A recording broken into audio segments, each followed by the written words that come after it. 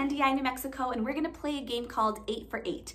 This is a game that helps us work on our fractions. We start with a whole, then we have a half, we have a quarter, and then we have an eighth. The pattern that we're gonna do over and over goes like this. Count with me for eight counts as we clap our hands. On your mark, get set, go. One, two, three, four, five, six, seven, eight. Nice. Now we're gonna hold and bounce in place for eight counts. Ready, go. One, two, three, four, five, six, seven, eight. Now we're gonna clap for four and hold for four. That's our half.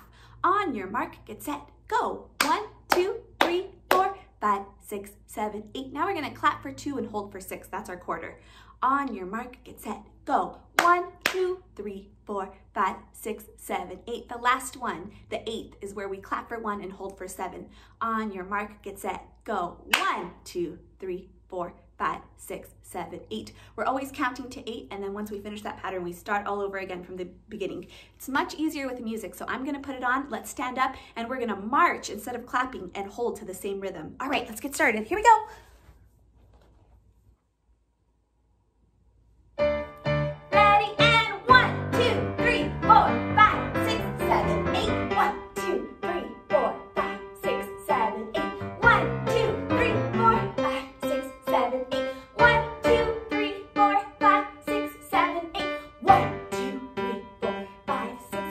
Let's start again. One, two, three, four, five, six.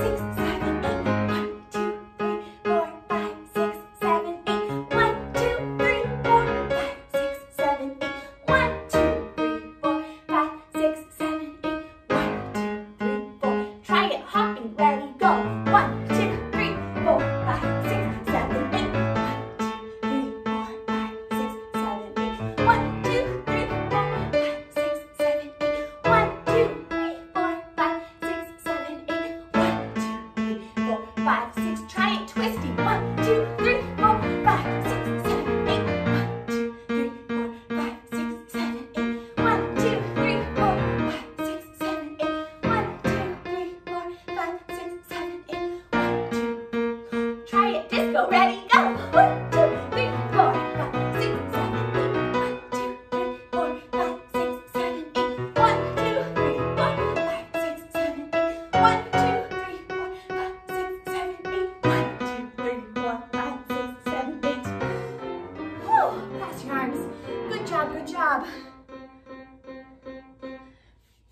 Know if you noticed, but the music was getting faster, so it made it a little bit more challenging to keep the rhythm. I hope you had fun learning that game with me, and we'll see you again for the next video. Bye, everyone.